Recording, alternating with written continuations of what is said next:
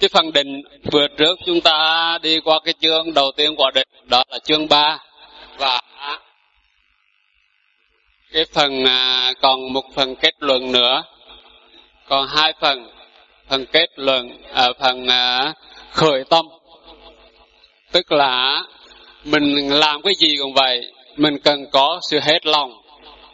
Cái sự khởi tâm một cách hết lòng thì cái việc làm đó mới có kết quả như ý, như mong muốn. Còn làm mà không hết lòng á, dù làm cái việc rất là đơn sơ, mình cũng làm không không có ưa ý được, làm không có thành thành tâm được. Cho nên á, cái trong đình á, cũng là vậy thôi. Ở xã hội ở đời mà chúng ta làm việc mà không hết lòng á, thì thì công việc đó thật ra nó không vô nghĩa. Ngay đi tùng kinh như vậy quý vị tùng giống như một trách nhiệm một cái một cái gọi là phải đi không thôi cả bị à, bị à, phạt. Thì cái suy nghĩ đó là suy nghĩ không có chính chắn và không đúng của người xuất gia. Cho nên làm cái gì cũng vậy mình làm bằng cái lòng hết lòng và nhiệt tình. Và làm như vậy á, được gọi là làm với cái tâm niệm của mình trong công việc đó cũng như là có cái chánh niệm. Vì vậy mà trong cái thiền định, thì yếu tố đó cũng được xem rất là quan trọng. Và thậm chí, mỗi lần hướng đến cái gì đó, thì cái hướng đó mình phải xả hết cả thân mạng này để mong cầu chuyện đó. Và vì vậy mà cái phần này là phần phát nguyện phát nguyện bằng cả tánh mạng. Trước tiên là hướng tâm quy phục cả tánh mạng đến đức thế tôn. Tức là mình phải thấy ngài là một bậc vô thường chánh đẳng giác, một bậc mà thế gian này không thể ai bị được. Và cái tâm mình hết lòng và lòng thành và chấp nhận hy sinh cả tánh mạng để vì ngài đó là mình quy phục ngài là vậy. Làm sao mà mình có sự tôn kính đúng đắn thì chính xác nhất phải là dẹp cái bản ngã riêng của mình, dẹp cái tôi riêng của mình và quy phục hoàn toàn và cả tánh mạng cho một bậc đạo sư cao cả đó. Thì đó là một cái phát nguyện đầu tiên. Một người phật tử sau khi mà học giáo pháp của đức phật và thấy những cái điều tuyệt vị diệu của giáo lý của ngài, thì tất nhiên cái chuyện này á, là một chuyện sẽ đến và chắc chắn sẽ đến. Nếu không sớm thì muộn. Vì vậy mà cái phát tâm để mà mình xả hết cái riêng tư để mà hướng vào con đường và thấy có cái đạo lộ là duy nhất, chứ không còn một cái tôi nào đó nữa, thì đó là một cái điều cần thiết cái thứ hai là quy phục tánh mạng mình cho một bậc thầy. Cái yếu tố này cũng rất quan trọng. Quy phục tánh mạng mình cho một bậc thầy. Thì á cả, cả mình đi muốn học đào từ một vị thầy nào đó mà mình không có cái tâm quy phục thì mình thấy vì ấy mình phân biệt thấy được cái đúng sai và tốt xấu trong vị thầy của mình. Điều đó hoàn toàn là không tốt. Và mình phải quy phục cả tánh mạng mình đối với bậc thầy là vì sao? Khi mình quy phục như vậy á thì những cái điều thầy sai mình cũng nghĩ á, là thầy có cái phương tiện nào để dẫn dắt mình. Vì vậy một cái tâm mình á, sẽ hết lòng. Dù là thầy sai mình cũng không buồn bực không sân hận và không trách móc cho nên á, cái cái cái tâm này á là một cái tâm cần thiết và rất là cần thiết. Nhiều bây giờ thời buổi bây giờ xuất gia nhiều người á thích chọn thầy và chỉ trích người vì thầy và thậm chí thầy của mình mà còn chỉ trích nữa là điều này nó phí cái đạo lý. Cho nên cái cái cái quy phục một cái vị thầy á là một cái truyền thống lâu đời tôi đi xuất gia là cũng vì cái vấn đề này đấy. Đọc trong cái câu chuyện kính lời vàng nói rằng á, một vị thầy à, một vị học trò tới cầu đào một vị thầy. Mà vị thầy đó nói rằng á, ngươi muốn làm đệ tử ta, theo ta, thì phải nhảy xuống cái hố đao này. Ông đào một cái hố đao và những cái gươm nó nó dừng lên dừng nhọn lên vậy và nếu muốn làm đệ tử ta thì phải nhảy xuống hố đau đó. Tức là phải hy sinh cả tánh mạng của mình đấy. Thì sau đó, một người đệ tử ờ, nghĩ rằng cuộc đời này nó tạm bợ và suy nghĩ rất là nhiều. Một một mặt thì sợ hãi cái sự chết. Một mặt thì thấy cái đào cao cả quá. Nhưng mà nhìn thấy cái đời, cuộc đời nó tạm bờ ngắn ngủi và chấp nhận chết trong đời này và vì đó nhảy xuống cái hố đao. Thì cái hố đao tự nhiên nó biến thành một hoa sen nâng vị đấy lên khiến cho từ đó vì đó trở thành một người đệ tử của một vị thầy đó. Đây là một câu chuyện mà chính câu chuyện này ấy, khiến ngày mình xuất gia khởi tâm xuất gia mình không ngại ngùng bất kỳ điều gì. Thời nhã nhà rụt rè sợ hãi cái gì cũng lo sợ đủ thứ nhưng nhờ những mọi chuyện này để mình chấp nhận tất cả để dẫn thân vào trong một cái con đường mà mình xem là cao quý nhất cao cả nhất. Và vì vậy á, mà con đường của mình đi sẽ suôn sẻ. Cho nên cái cái cái yếu tố mà quy phục cả tánh mạng của mình cho một vị thầy á, là một điều rất là cần thiết. Và thậm chí khi mà quý vị xuất gia mà thấy vị thầy mình có những lỗi gì á không thể lấy cái lỗi đó mà chỉ trích thầy mình được cái đó cũng có thể rằng đó là một cái bản năng của sinh tử. Và mình luôn luôn nhìn bằng một cái thực tài trôi chảy. Đồng thời đó mình có thể nhìn nếu là một bậc thầy mình tôn kính với những cái gì những điều mà thầy làm rất là cao quý. Và những điều nhỏ nhặt đó thì mình xem rằng á, biết đâu đó là phương tiện thầy sử dụng cho mình để cho mình tu tập mà mình làm sao đừng sân với thầy thì điều đó là cần thiết. Cho nên cái cái việc mà khởi tâm quy phục cả tánh mạng đối với vị thầy là một điều yếu tố tuyệt đối đúng và hoàn toàn cần thiết. Cho nên một trong đây là một nếu mà đi được đường này á, thì chúng ta mới đi được cái truyền thống lâu đời của đạo Phật. Chứ còn á cái này đưa lên một cái yếu tố nữa đó là cái bản ngã nếu mà mình quy phục cả tánh mạng mình cho vấn đề này, thì cái cái cái tôi của mình, cái ngà của mình á, sẽ nhẹ nhàng lắm. Và không có một cái chướng ngại. Chúng ta chướng ngại là vì sao? Những mọi chướng ngại mà đến với chúng ta là vì chúng ta có một cái cái tôi nó to quá, khiến cho đi qua một cái cửa nhỏ nhỏ không không lọt. Và thấy đó là một chướng ngại. Còn cái đó mình biến cái tôi nó nhỏ thôi, nó dễ dàng lắm cái vấn đề mà đi qua một cái cửa không phải là không phải cái lọt bằng cái thân sắc thân này nhưng mà cái tâm của mình thọ tưởng hành thức của mình không cho phép mình qua cái cửa mình mặc dầu cái thân này rất nhỏ đối với cái cửa. Nhưng mà cái tâm mình là vị đại nó to và một có một cái cái cái, cái, cái ngạ màng lớn. Và vì vậy cái cửa như vậy á nhưng mà cái thân này lại quá không lọt tức là mình cứ xem bên kia không xứng đáng để cho mình vào. Nhìn như vậy rồi ruột quờ không qua không có lọt cái cửa cho cái cái thân nhỏ bé này. Đó là yếu tố mà thuộc về cái tâm. Cho nên á cái này á mình quý phục để cho mình á à, dẹp được một cái chướng ngại đó là cái ngã cái tôi. Và cái chấp đó là một cái chấp nặng nề nhất mà diệt được nó là một cái sự vượt rồi một cái sự tăng thượng rất là tốt đẹp cái thứ ba là sau ý hướng chân thành đưa đến giác ngộ. À, tức là những cái vấn đề này á à, cái cái sự giác ngộ những cái tâm hướng của mình mà trong đó cái cái hướng đến Phật pháp tăng nữa thì mình cần cần phải à, chân thành để mà à, khởi cái tâm.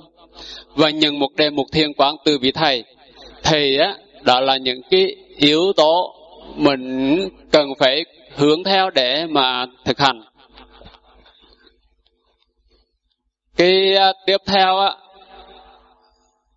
đây là một phần kết luận. Thì những cái phần này là tổng kết cho những cái vấn đề căn bản mà thôi. Vấn đề mà trong cái định vừa rồi mình à, đi qua đã học rồi.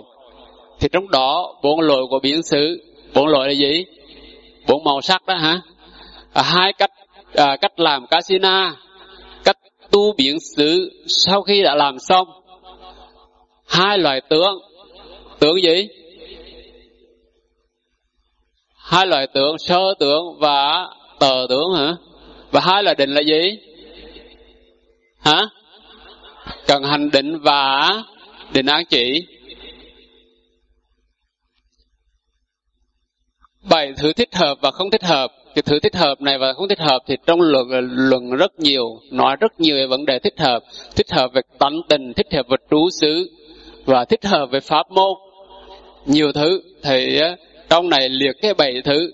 Thật ra tôi truy ra cái cái cái phần bảy thứ trong này vẫn chưa tìm ra một cái con số cho nó thích hợp với chỗ này.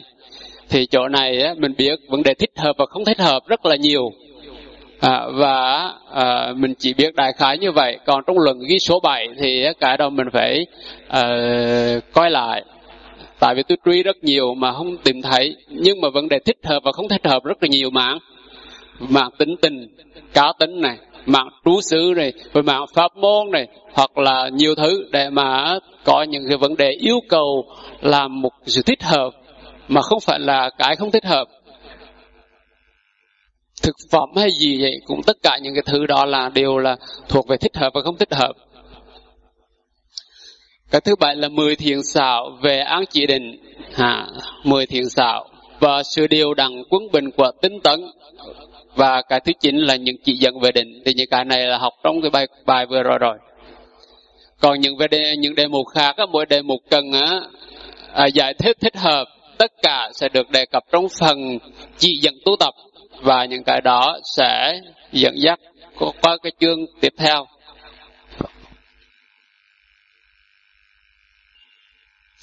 Bây giờ là chúng ta qua chương 4 hả? Chương 4 là chương nói về về cái gì? Casino đất. Casino đất phải không? Tức là biển xứ đất thì cái biển xứ đất trong này là tại vì có 10 biển xứ và biển xứ đất là nói để đại diện cho nhiều cái khác cho nên biển xứ đất là nói kỳ nhất. À, cho nên chúng ta cần theo dõi cái biển xứ đất thì chúng ta có thể biết được các cái biển xứ khác. Mình chỉ thay đổi trong cái hình thái của đất hoặc là nước hoặc là lửa hoặc là gió hoặc là ờ, xanh vàng đỏ trắng. Những cái cái biển khác nhau về cái hình thức hình tướng à, còn á những cái cách thức hoàn toàn là giống nhau. Cho nên biển xứ đất mình nói biển xứ đất là đủ. Trước tiên đi muốn vào tu tập định về biển xứ thì nói đến về cái trú xứ.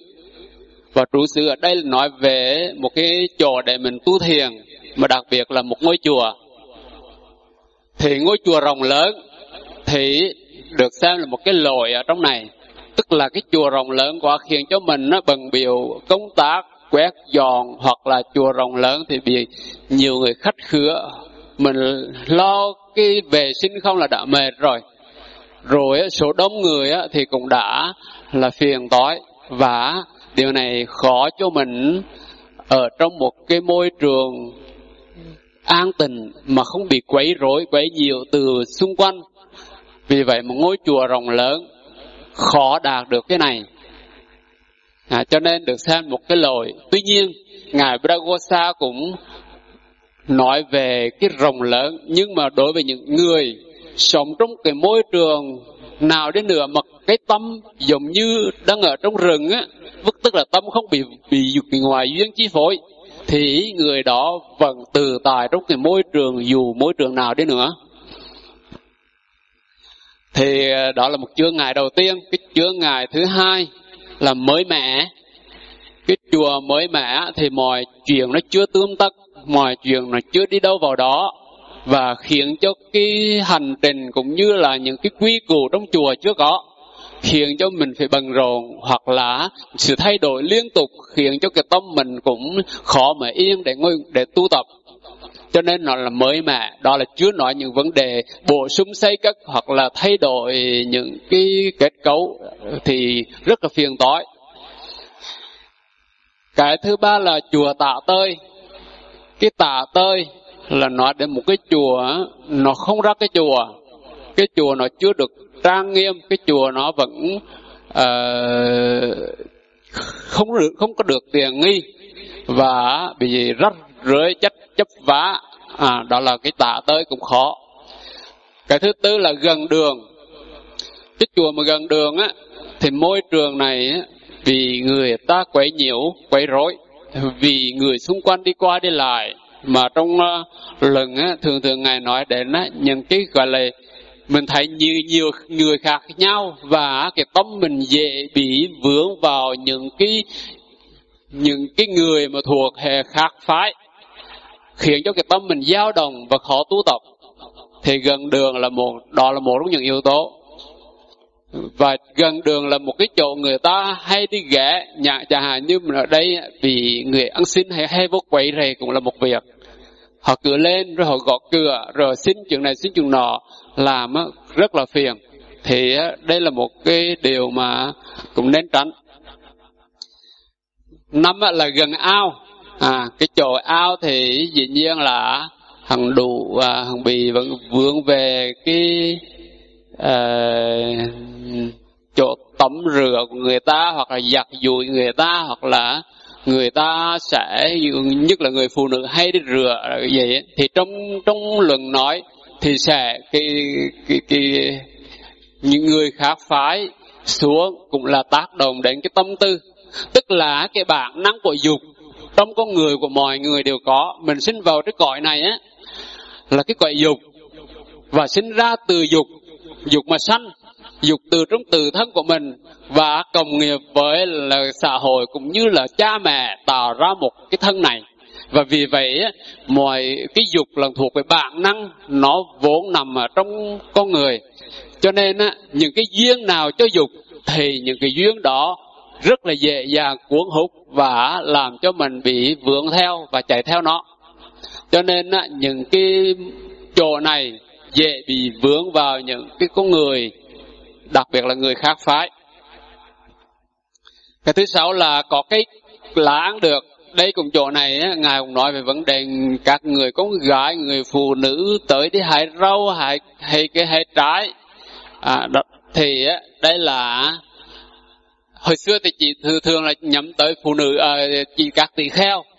Và vì vậy á, nói như vậy thì cũng đồng nghĩa rằng á, bên kia thì gặp à, người khác phái. Nói chung là người ngạ khác phái. Và khiến cho tâm mình chạy theo cái sắc pháp đó à, thì và cái thứ bảy là có nhiều hoa và cũng tương tự như cái trên tức là có sẽ có người tới hái hoa và tiếng cái, nghe cái tiếng kêu tiếng nói hoặc là cái, cái hình ảnh gì đó thì cũng ảnh hưởng đến cái, cái, cái cho mình. Và có cây ăn trái cũng tương tự như trên. Và cái chùa nổi tiếng chùa nổi tiếng là cái chùa được nhiều người tới đặc biệt là những quan quyền những cái người mà nghe danh là chạy tới. Rồi á những người du khách cũng chạy tới. Và đó là một môi trường rất là phức tạp rất là ồn ào. À, thì đó là những cái chướng ngại. Nhiều thứ mà trong cái nổi tiếng quý vị có thể suy ra trong thực tế đủ rồi. Cái thứ mười là gần đô thị gần đô thị là gần chỗ mà sầm uất chỗ mà có người tấp nập và đó là một cái môi trường nhiều người mặc đồ đẹp những người làm cho tạo ra những sắc pháp khiến nó ảnh hưởng đến cái tâm của một một hành giả. À, vì vậy ở đô thì là một cái chứa ngài ở gần cây lấy gỗ à, chỗ này thì một cái vùng mà có cây mà to cái cây để mà người ta tới cưa xẻ và họ ờ, chặt. Hồi xưa mà chặt, không là mình thấy đã ồn rồi, bây giờ dùng cái cưa máy á, mà làm rực rạc, không cách chiều nổi. Và vì vậy không cách chi cái tâm mình nó yên được, định được. Và vì vậy chỗ gần cái cây lấy gỗ cũng không được. Và gần đồng ruộng. Gần đồng ruộng là cái nơi mà người ta đi ra theo vụ mùa, đi hái, gặt hái, đi đạp lúa đi làm những cái vấn đề này, cái đồng án. Thì những cái điều này á con người họ cũng rất tấp nập để mà làm trong các vụ mùa. Và điều đó ảnh hưởng. Đó là chưa nói ngài Buddha Gosha còn nói rằng á trong này là chưa nói đến khi mà người ta có đồng ruộng là nuôi gia súc và gia súc đi vào trong chùa làm rất là phiền toái. Và vì vậy á, chùa cũng tránh tránh gia súc. Vì gia súc là nó ảnh hưởng đến cái cái cái, cái đời sống thanh tịnh mà thiên nhiên trong cái cái cái cảnh mà bình yên của của mình. Và cái thứ 13 là những người xung quanh khác nhau. Có những người gần đó mà có khác nhau có nghĩa là họ cứ gây lộn chửi bới đánh đập. Và làm như vậy á ảnh hưởng đến cái đời sống tu tập của mình tại vì mình có tai tự nhiên nó nghe cho mình không cố tình nghe. Và khi mà nghe một cái cái tâm mình dĩ nhiên luôn luôn tác ý đến những cái tướng đó. Và khiến cho sự mình bị dao động. Cho nên á xung quanh mà có người gây gỗ mình thấy phiền lắm. Mình ở những người xung quanh mà không có yên và luôn luôn nhiều chuyện và luôn luôn tìm uh, có những cái sự tranh chấp thì rất là mệt mỏi và nên tránh cái thứ tư mười mười bốn là gần cổng ra vào. Gần cái chỗ cái lối ra vào của một cái vùng một xứ sở hoặc cổng làng hoặc là một cái cổng à, một cái đất nước hoặc à, tức là một cái từ, từ vùng lãnh thổ thổ này qua lãnh thổ khác. Thì những cái cổng đó những cái lối ra vào đó luôn luôn là bần biểu và cũng rất là ồn ào ngài Buddha Gosa cũng nói rất là nhiều, tức là chẳng hạn như cổng ra vào thì có người ờ, rồi tới rồi hỏi về cả vấn đề chính trị nữa. Nhiều vấn đề mà liên quan đến cái xã hội, người đời mà người tu không cần quan tâm, nhưng mà vẫn bị dính vào. Vì vậy những cái môi trường này cần phải tránh. Cái thứ 15 là gần biên giới các nước. Cái chỗ này á, gần như trên kia nhưng mà ở đây lại là gần với những cái gần ở biên giới là chỗ mà vừa tranh chấp giữa nước này và nước nọ thường thường tạo xảy ra. Chẳng hạn giống như ở biên giới ngoài làng sơn hay là ngoài ngoài bắc á, chỗ đó không cách chi mà yên. Rồi á ờ, người nhập lầu hay gì đó luôn luôn ảnh hưởng. Rồi buông lầu nữa, đủ thứ khiến cho một cái môi trường rất phức tạp. Và vì vậy ở những môi trường đó là mình nên tránh. Ngay cái tu mình cũng nên tránh. Hồ là đi vào trong cái hướng tu tu tập thiền định này. Cho nên cũng cần phải tránh những cái vùng này. Và gần biên giới kinh đô. Tức là uh, biên giới ở kinh đô là uh, một cái cái, cái thành đô tức là cái, cái cái đô thành của một cái đất nước. Chỗ đó là các cái sứ giả các cái, cái quan khách tới tới triều cống hoặc tới tới vua hay gì đó thì cũng luôn luôn là bận bận rộn. À, cái thứ 17 là không thích đáng. À, không thích đáng thì nhiều thứ. Nói chung là cái gì không thích đáng và tất cả 18 cái này không thích đáng thì mình nên tránh và thích đáng thì thì không sợ. À, mình phải biết vấn đề thích đáng và không thích đáng ha nên và không nên và cái môi trường quan trọng nữa là đó là thiếu thiền trí thức. Thiền trí thức là một cái bậc dẫn dắt cho mình con đường mình nếu như mình chưa rành thì không thể thiếu những bậc đó. Và năm yếu tố thuận tiện cho một trú xứ. Thì đây là, thay vì nói bên kia là 18 cái lồi của một ngôi chùa. Thì đây là nói đến năm yếu tố tốt đẹp cho một trú xứ để cho mình tu tập. Thứ nhất là không quá xa không quá gần và có một con đường để đi lại. Xa là xa cái gì? Xa xa cái chỗ mình đi kiếm ăn á. Tức là hồi xưa đi khất thực á, là không xa cái chỗ đi khất thực tức là không xa ngôi làng. Tại vì ở trong làng á trong kinh điển mà ghi chữ ngôi làng không phải là vùng quê đâu làng là một trụ xứ của đông đúc của dân chúng. Cho nên cái làng là của người đời, người dân, người thế tục họ sống. Và một người xuất gia cần tránh cần tránh những ngôi làng. Và tránh bằng cách là mình đừng có tránh quá xa, tại vì ngôi làng là những cái suối nước mưa mưa nguồn cho mình tồn tại, cho sự sống ăn mặc ở của mình cho nên á, cái cái xa làng thì mỗi lần đi khất thực rất xa, mà quá gần á, thì bị phiền toái bởi họ quấy rối. Và những cái tranh chấp, những cái ồn ào của dân chúng sẽ ảnh hưởng đến mình. Và đặc biệt, cần có một con đường để đi qua làng đó. Tức là có một con đường để đi vào làng một cách thuận tiện, mà không cần phải lồi những chỗ nguy hiểm, mà dễ dễ bị tai nạn gì đó thì à, tất cả những vấn đề này rất trí tuệ. Cái thứ hai là, ban ngày ít người lưới tới và ban đêm ít ồn ào. Chỗ này tình, một cái trú xứ này cũng rất là hiếm ha. Và cái này có những người cứ nghĩ mà chỗ mà ít người lưới tới và ban đêm ít ồn ào là chỗ hẻo lánh. Rồi á, cứ cảm thấy rằng á, mình á, ở, vô thành phố là tốt nhất. Tại vì cái này là vấn đề thuộc về thiểu dục và trí túc. Nếu một người mà có thiểu dục trí túc rồi á thì sống một cái đời sống rất là dễ mà không có xa không có gần ngôi làng mà vẫn cảm thấy đầy đủ thoải mái. Tức là họ không có những nhu cầu mà thuộc của thành phố. Nhưng ở thành phố phải đòi hỏi cái này cái nọ và đủ tất tất, tất cả mọi thứ và nếu sống xa một chút thì thầy mình thiếu.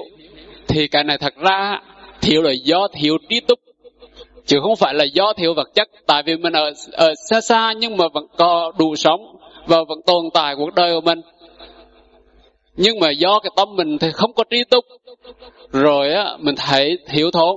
Chứ còn á ở xa vấn đề là đừng có bị đói vẫn đủ ăn và những mọi thứ gọi tử sự á, là đầy đủ là được rồi. Nhưng mà bây giờ người ta phải cần những cái thứ mà cao xa hiện đại hoặc là những cái nhu cầu xã hội mình phải họ có mình phải có cho nên mới xin chuyện cho nên mà nói là ít người lui tới và ban đêm ít ồn ào á cần phải nói đến cái tấm thiểu dục đó để cho mình đạt được cái này còn á, đòi hỏi một cái không có thiểu dục á, thì thầy vấn đề này á, khó mà đạt được. Cái thứ ba là ít ruồi mồi gió sức nóng mặt trời và loài bò sát. Tức là cái chỗ này nó không được không có phải là chỗ uh, tù tô tu ống của nước đồng để cho ruồi mồi hoặc là những cái chỗ mà môi trường nó khắc khe khó chịu tức là mình phải ủng hộ một môi trường rất là thoải mái không khí thật trong lành chỗ mát mẻ. Thì á, chỗ đó là tu hành rất tốt.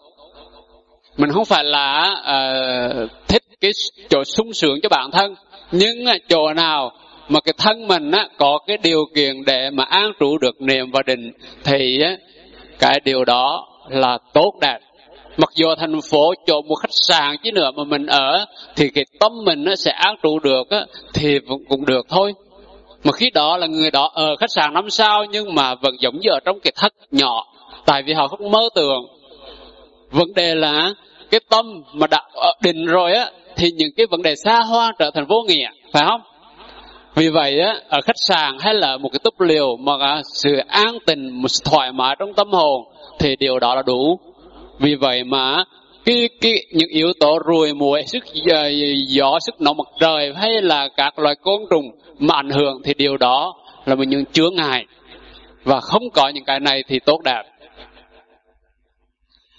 Cái thứ tư là người ở trong đó dễ kiếm à, tức là người, người hành giả đó hành giả ở đó dễ kiếm bốn thứ cần dùng.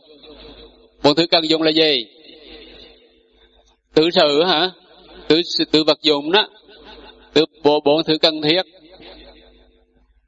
Cái thứ năm á, là nơi đó có những thường tọa tỳ kheo đa văn, thông kinh điển, những người tu tướng dự pháp luật và thỉnh thoảng khi hỏi nghĩa lý kinh điển thì những vị này sẽ khai thị, giải thích những gì chưa được khai thị và giải thích và trừ nghi hoặc cho thành giả.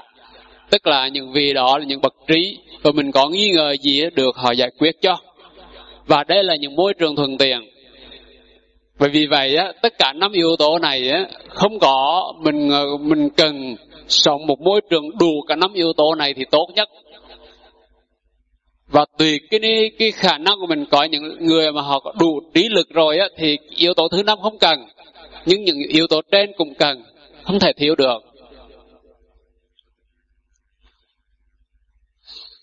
Có những chuyên này nhỏ đây là những cái gọi là một cái cái gọi là tiền.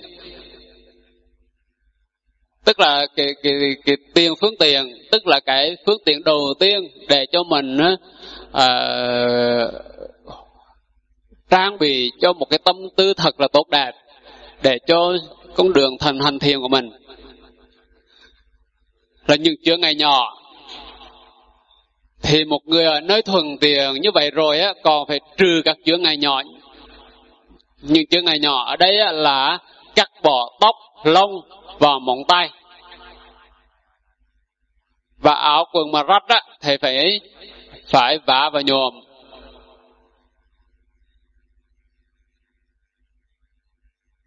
Và nếu bác mà không có lành lặn á thì phải làm cho lành lặn. Nói chung tất cả những cái gì mà không có làm cho cái vướng cái tâm mình trong khí sống đó thì mình phải làm cho nó khỏi vướng. Và những yếu tố này là những yếu tố nhỏ giúp làm cho mình vướng cái tâm.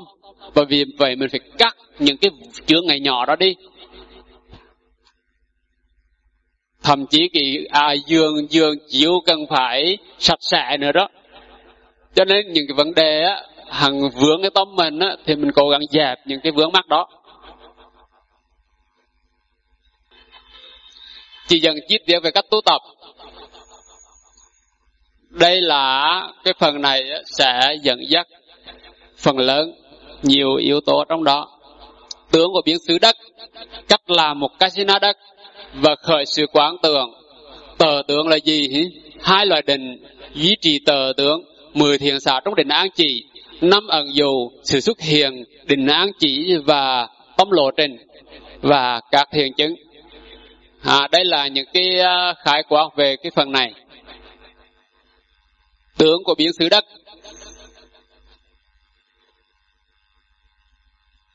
tướng của biến xứ đất á, thứ nhất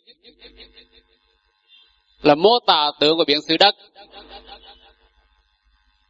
và thứ hai là mô tả cách tu tập và thứ ba là cái vấn đề căn cơ.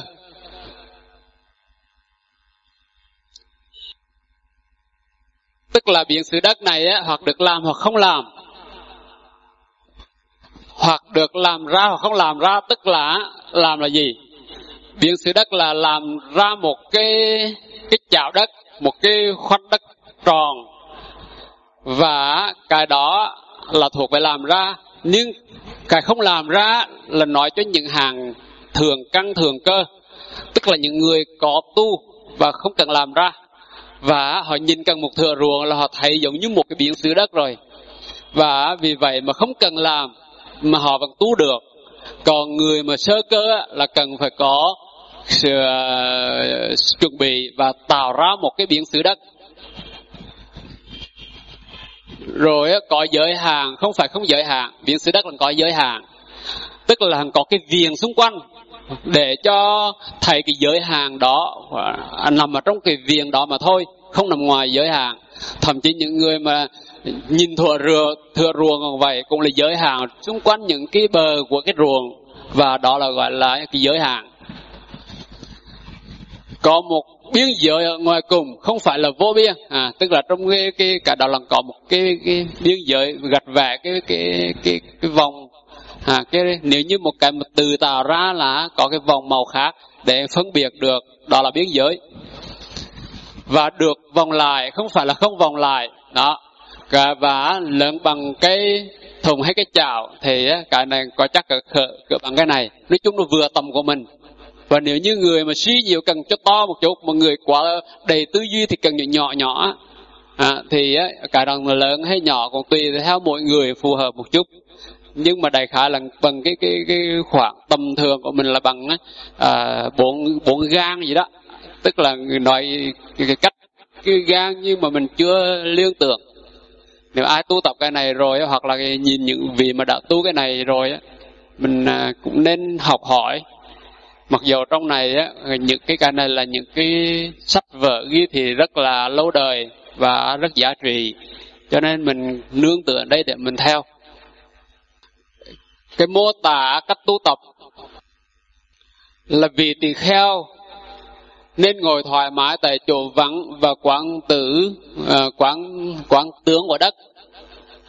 Tức là cái tướng của đất làm cái tướng của cái casina đó đó tức là cái vòng đất đó à, trong phạm vi đó và để tâm vào tướng một cách kỳ lường biết rõ nó và đừng rõ nó đặt tâm vào cái tướng thấy rõ lợi ích của nó và nhìn nó như một báu vật tôn trọng và quý mến nó. Tức là quý mến cái cái cái đất đó. Tức là trong phạm vi của biển xứ. Cái đất ở trong phạm vi biển xứ và cái đất này á, hàng thuần tình. Có ừ, cái màu nó, nó thuần tình và không có rác rưởi. À, cái màu vàng thuần mà ngài Buddha gọi là cái màu của à, đất ở trong dòng à, sông Hằng á. Cho nên cái đất là màu thuần tình. Thì á, cho nên á, nó đẹp và ừ, khởi cái tâm quý uh, quý trọng và tôn kính quý mến đặt hết tâm tư vào đối tượng. Đây là một sự tu tập và như vậy là vì ấy đạt được, các cái thiền chứng, đạt được thiền sơ thiền, tức là ly dục, lý bất thiền pháp, chứng một trụ thiền thứ nhất. Một trạng thái hỷ lạc do lý dục sanh hả? Có tầm, có tứ đó, tức là sơ thiền. Và tùy căn duyên, nếu đời trước đã từng đắc tứ thiền nhờ biến xứ đất. Thì sơ tướng đất hiền lên nơi một vị mà không cần tạo tác. Tức là người mà có tu rồi á người này họ cái, cái, cái căn cơ nó cao rồi á thì và đã từng tu rồi cho nên nhìn cái tướng dễ đạt được cái gọi là là là, là tướng của đình này tướng của biến xứ này và sơ tướng sơ tướng của đất á, hiện lên nơi vị ấy mà không cần tạo tác. Tức là họ nhìn cái, cái cần đi ngang thừa ruộng thôi tác ý đến một cái cái thừa ruộng như là một biển xứ đất vậy. Thì cái sơ tướng nó hiện lên. Cái sơ tướng là gì? Tức là một cái tướng mà nhờ những cái đất đó qua một quá trình quán chiếu rất là lâu và cái tượng của đất nó hiền in vào trong cái tâm thức của mình. Và khi nhìn nó là bắt đầu mình đến mức độ là mình thấy cái tượng nó ngay từ trong tâm tâm thức và nó hiền lên mà không bị vướng vào trong cái cái cái bên ngoài nữa. Và cái tướng đó là cái ruộng như thế nào thì cái tâm mình sẽ nhìn thấy cái ruộng như vậy thì gọi là tướng là sơ tướng hoặc là nhìn một cái casino, đất và mình nhìn thấy nói như thế nào á, thì cái tâm mình sẽ hiền ra. Mặc dù cái cái cái cái cái cái cái vòng đất đó mình không để trước mặt, nhưng mà mình vẫn thấy cái đó là hiền trước mặt. Thì cái sơ tưởng là nhìn y nguyên cái tưởng đó nằm trước mặt của mình. Và cái cái tưởng sơ, cái tưởng như thế nào đó, thì cái sơ tưởng hiền ra như thế đó. Thậm chí cái tưởng bất tình hoặc xấu, có những nét chi tiết như thế nào đó, thì sơ tưởng hiện lên và thầy một một cách là y chang. Và vì ấy nới rộng tướng ấy và đắc ngũ thiền. Tức là à, nới rộng. Đi xa hơn nữa thì chứng các cái thiền chứng. Rồi nha nhờ án trụ vào tuệ với định ấy làm nền tảng vậy đắc a la hán quả. Thì đây là một cái quá trình mà người đã có thường căn thường cơ tu tập ha còn người chưa có định thường căn thường cơ là cần phải làm một casino đất. Nếu một người chưa từng thực hành trong quá khứ thì nên là một casino casino đây là một casino mà ở viện sử đất thì làm casino đất. Và có hai loại casino casino ồn, ổn cố tức là trụ tại một chỗ cố định và casino mang theo. Thì casino mang theo á là có thể làm bằng cách buộc dẻ hay da vào bốn cái gầy và kết thành một cái đĩa tròn phải được đặt trên đất để nhìn.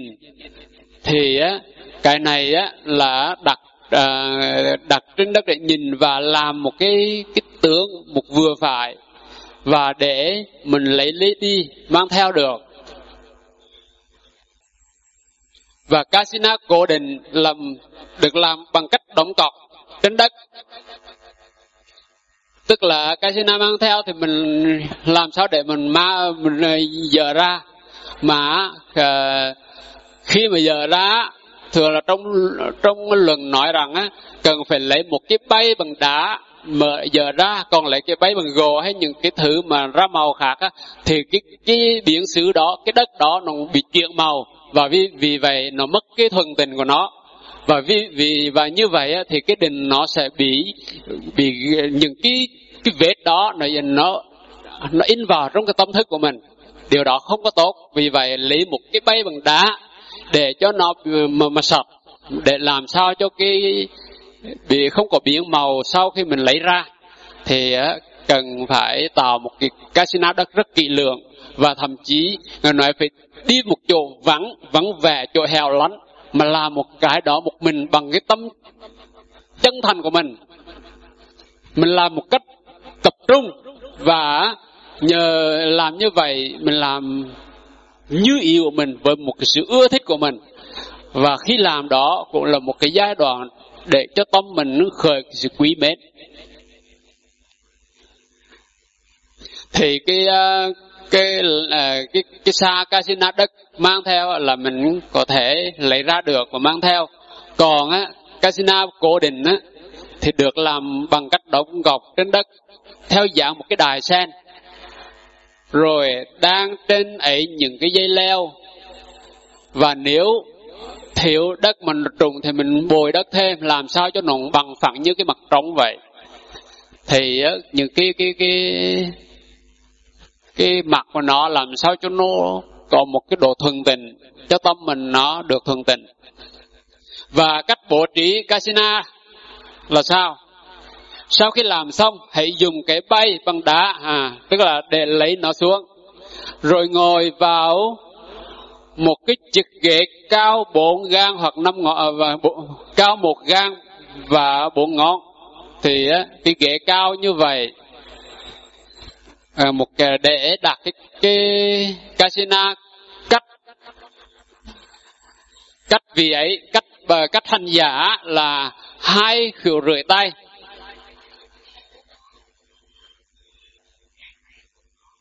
Một gan và bốn ngón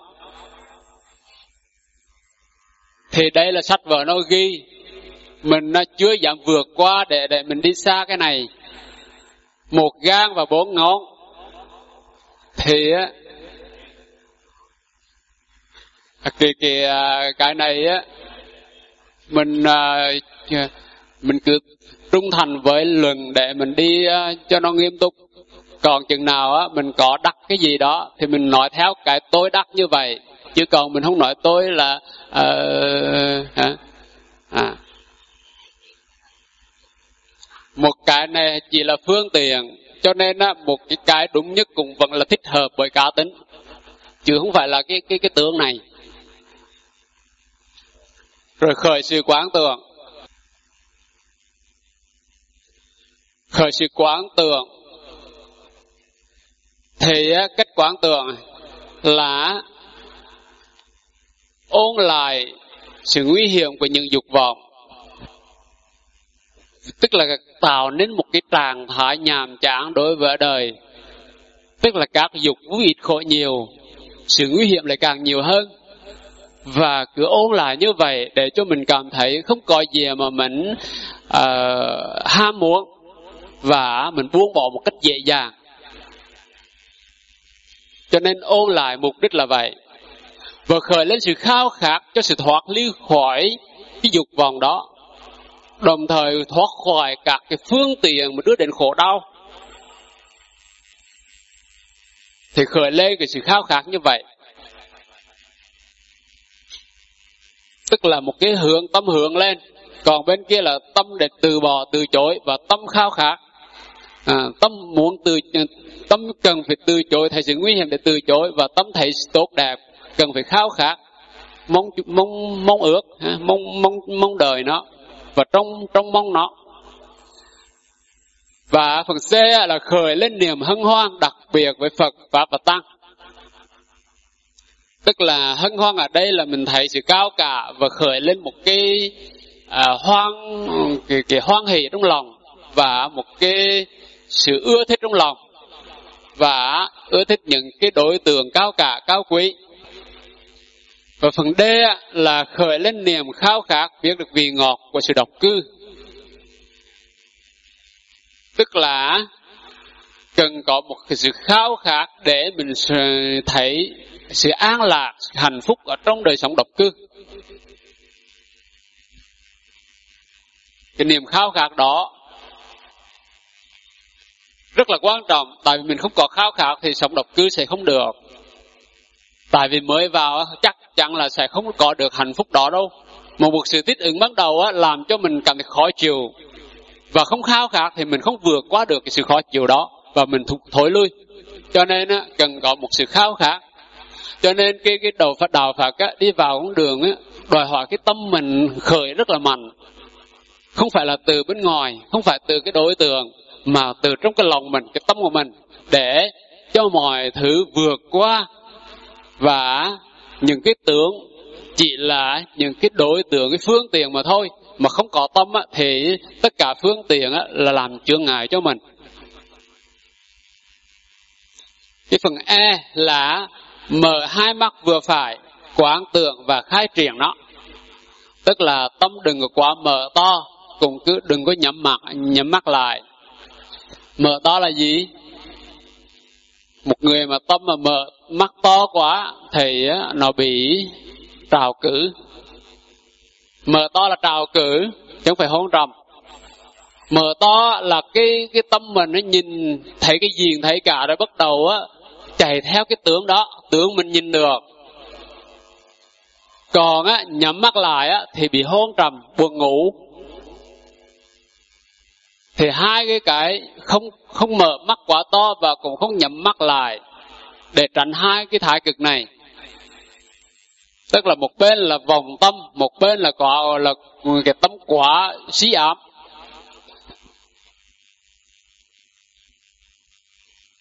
Và quán tượng và triển khai cái tượng đất này.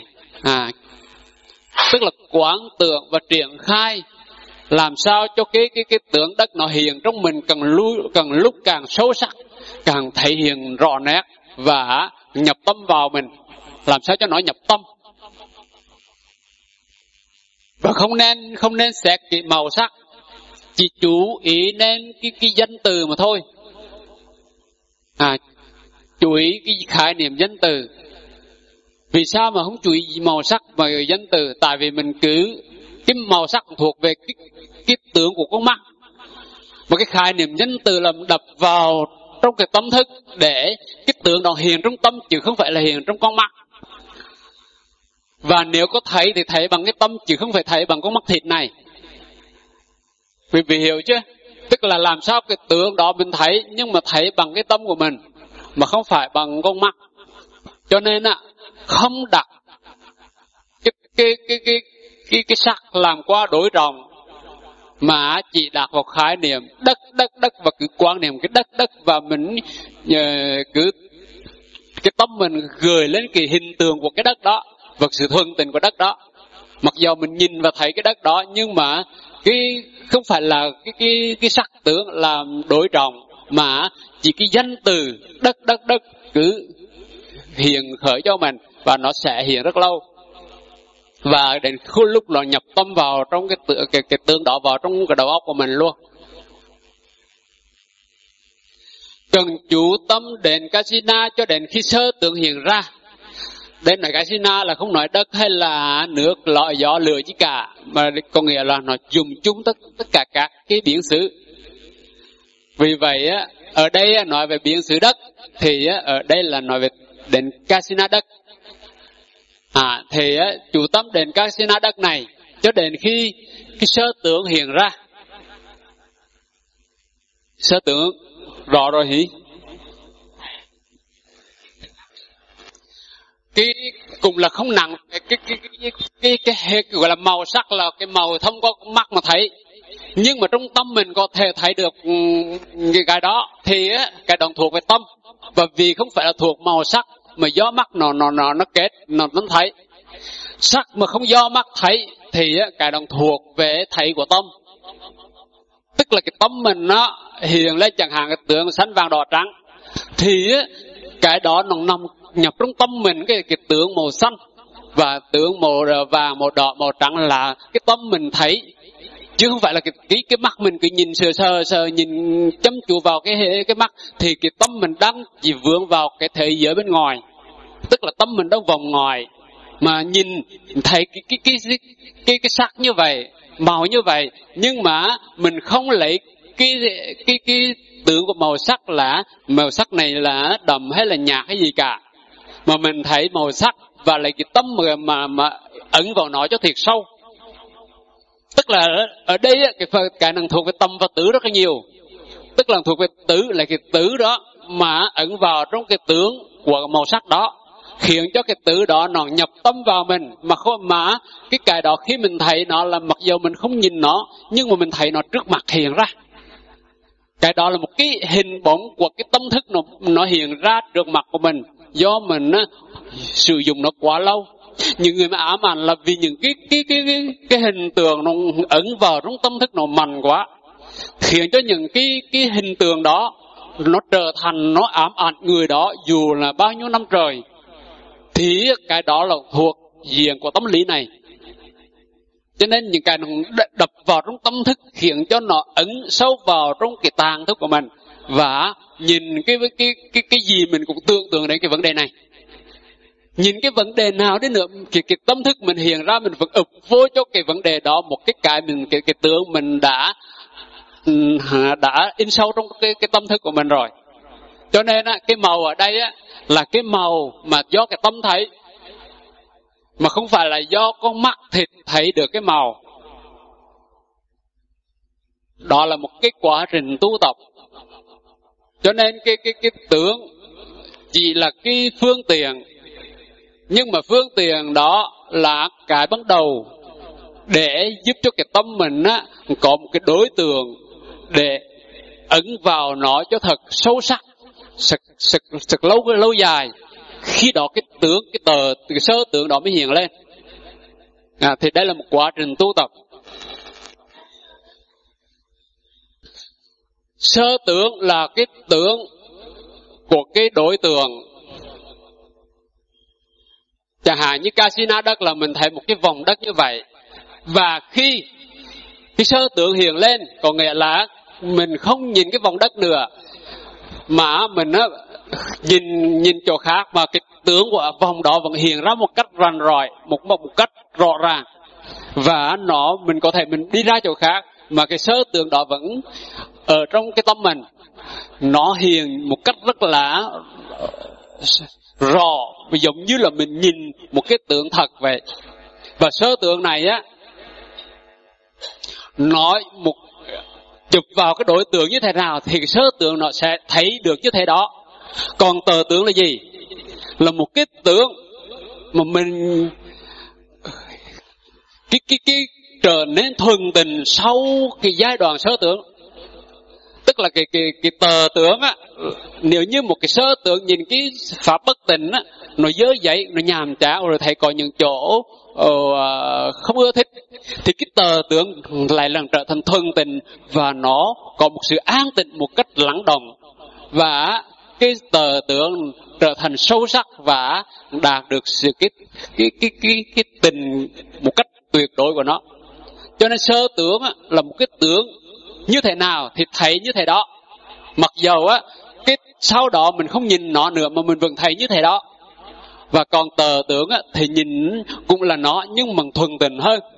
Nhìn với một cái thái độ cũng như tâm tư đầy, đầy hoang lạc một đầy một cái sự thoải mái một cái một cái sự sự đẹp đẽ sự tốt đẹp mà không có những cái vết tì vết.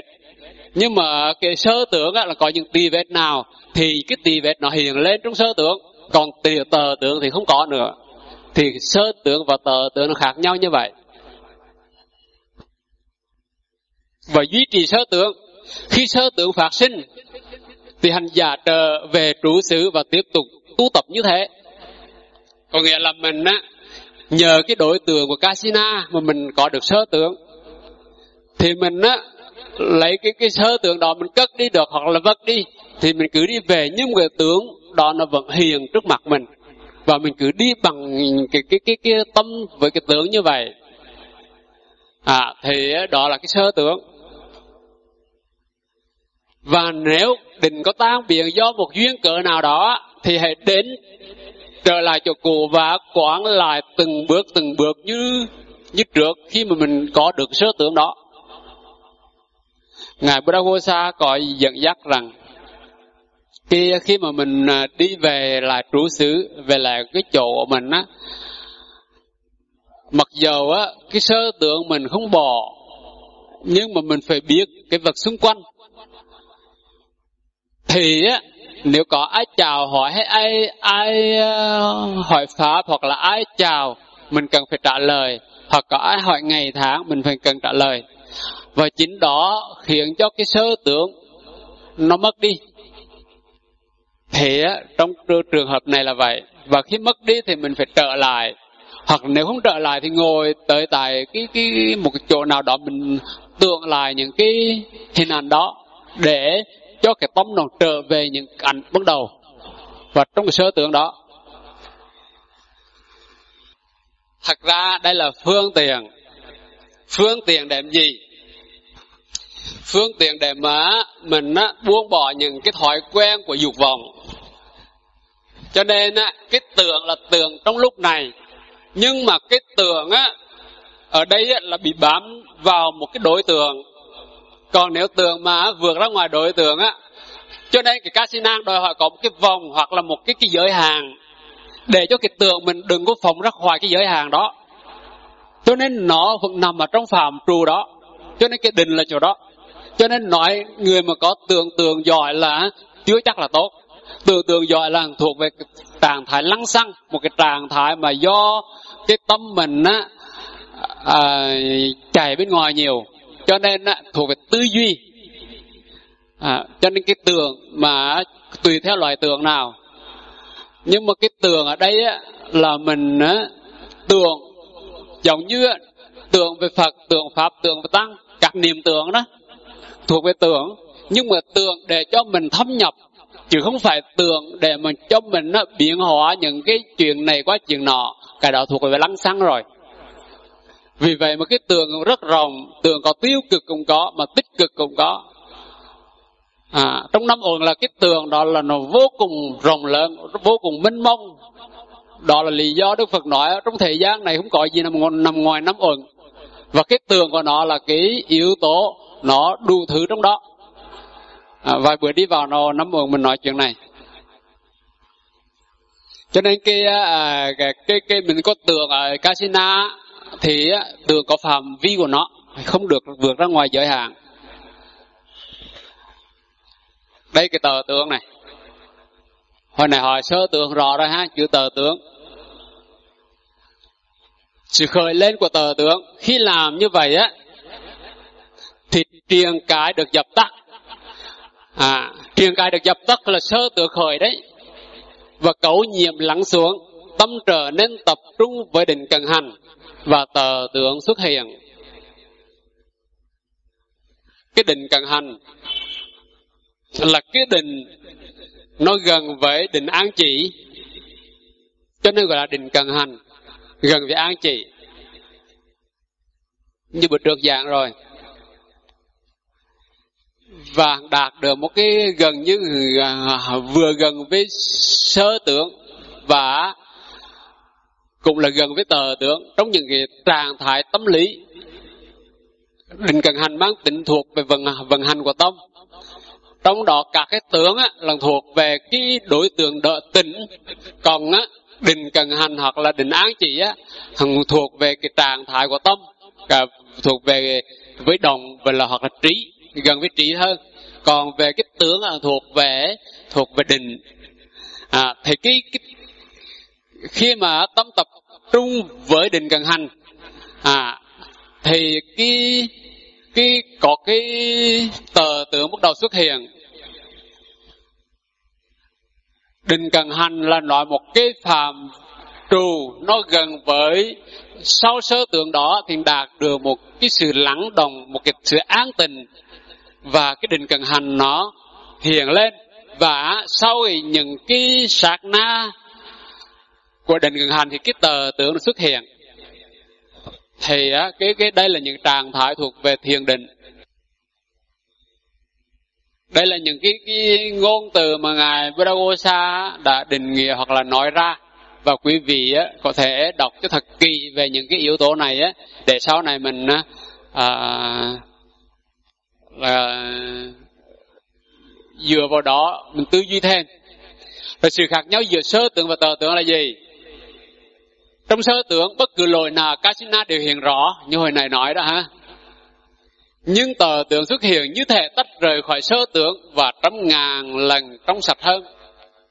Tức là thanh tịnh thuần tịnh trong tờ trong sơ tưởng ở à, trong tờ tưởng. Còn á, sơ tưởng á, là một cái à, một cái hình ảnh. Nó nó sao chép y chang với là cái tượng ban đầu cái mà, mà tượng casino đó. Còn á cái tờ tượng á là một cái hình ảnh nó biệt. Hoàn toàn tách rời ra khỏi những cái sự sai biệt trong sơ tưởng trong sơ tưởng có sự sai biệt thì tờ tượng không có sai biệt nó thuần tình. Mà giống như à, nhìn cái cái cái chảo à, casino đó, thuần tình rồi nhìn giống như một cái chảo vàng ở trên hư không vậy thì hiện người những cái thuần tình mà không có một cái cái nào thì thuộc về tờ tướng. Cho nên những cái cái cái tờ tượng này một cái trạng thái thật sự là định.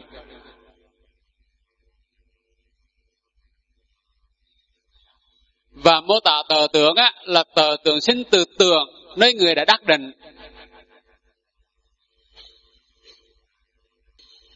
Tờ tượng sinh ra từ tượng nơi người đã đắc định.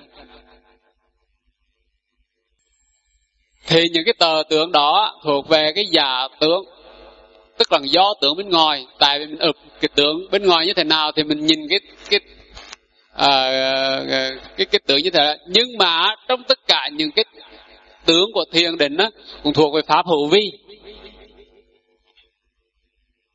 Cho nên á nó cũng thuộc về giả tạo luôn tất cả các cái tướng tất cả do tâm do tâm tạo cả đó. Tất cả các thiền định đều do tâm tạo. À nhất thiết duy tâm tạo hay không? Tất cả là do tâm tạo. Và cái tượng này á, do tâm tạo. Và các cảnh giới trời cũng chính do tâm mà ra. Thì á, à, cho nên ở đây thuộc về giả tướng thì, thì tất cả các cái cái cái cái, cái tướng ở thời gian là thuộc về giả thật ra cái cái tượng này á, trong Phật giáo Nguyên Thủy cũng như Phật giáo Đại thừa là không có sai chỗ nào mà càng thuộc về cái loại của đạo Phật, cái căn bản của đạo Phật. Cho nên không có một sự sai khác nào về mạng giáo lý căn bản của Phật giáo giữa Đại thừa và Phật giáo Nguyên Thủy. Mình phải thấy cái cái cái cái điểm này khác nhau về mạng phương tiện, mạng hình thức, mạng vận dụng cái cái để đi vào đời là khác nhau giữa các cái tông phái khác nhau về mạng này còn á không có một cái khác nhau về cái tư tưởng của Phật giáo. Vì vậy đó, đây là cái truyền thống lâu đời mà các ngài đã gìn giữ được –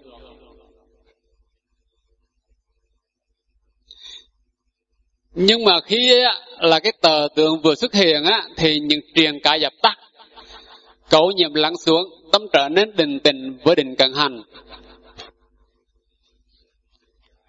Cho nên cái định cần hành hay là tờ tượng đôi lúc mình thấy nó nhập nhằng với nhau. Đôi lúc cái thì thời gian trước và sau không có rõ.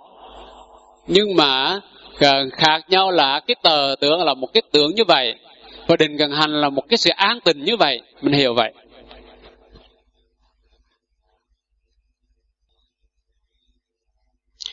Có hai loại định. Tức là định cần hành và định an chỉ. À, như vậy là rõ rồi phải không? Định cần hành và định an chỉ.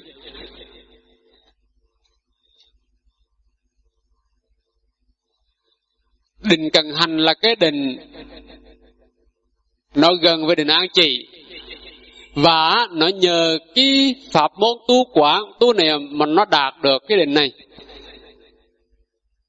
và khi mà có được định cần hành á, thì có những cái tốc hành tâm á, sẽ giúp vượt tới đạt được cái định an chỉ và đây những cái sự vận hành một cách tự nhiên trong cái sự tu tập. Và định an chỉ sẽ đạt được là một cái định rất là uh, an bình và an chỉ mà dừng lại tất cả đạt được định thật sự tuyệt đối. Tâm trở nên định tình theo hai cách đến bệnh viện cần hành á và bên dịch và bên diện diện an trị tức là cái tâm nó định tình ở bên ờ, theo cái uh, cần hành tức là và an trị. Cần hành cần là gần hành nó là sự vận hành cho nên nó mang tính đồng và cái cài này nó đang vận hành tới cho đến an trị và vì vậy nó chưa tới an trị mà thôi. Còn á cái bệnh viện cái an chỉ là một bình dương mà đạt được sự lắng lắng lắng dịu hoàn toàn. Lắng dịu mà không còn bị vừa bị à, một cái sự vận động nào nữa.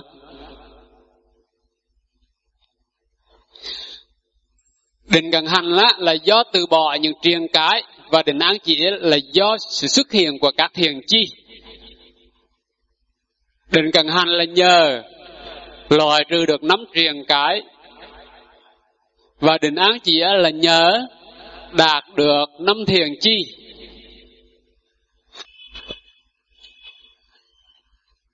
Có có sự à, sai khác giữa hai là định này.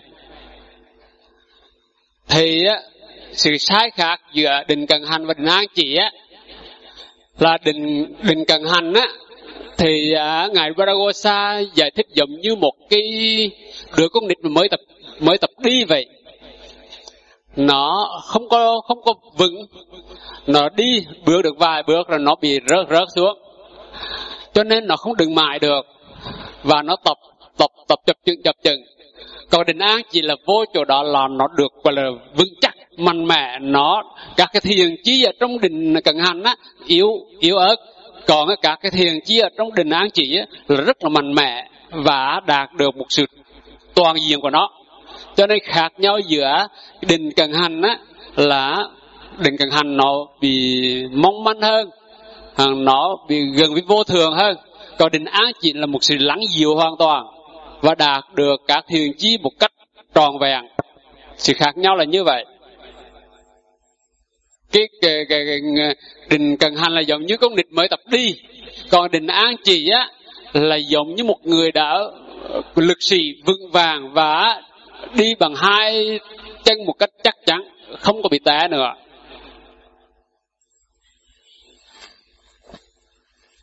Làm sao để duy trì tờ, tờ tướng?